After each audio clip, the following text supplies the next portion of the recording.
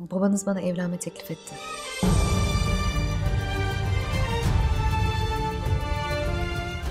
Bize bu yaşattıklarının hesabını ödeyeceksin. Bilmem lazım Kemal Bey. Sen gerçekten bir yuva kurmak için mi evlenmek istiyorsun annemle? Yoksa bizi acıdığın için mi? Sen senelerdir bunu planlıyordun. Hep fırsat bekliyordun.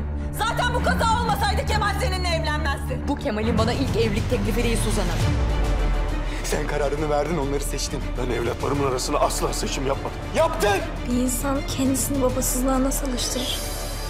Sakın bana bir açıklama yapma. Sen artık benim bundan sonra babam değilsin. İzin vermemeliydim. Senin çocuğunun o ameliyattan sağ çıkmasına izin vermemeliydim. Ne dedin sen?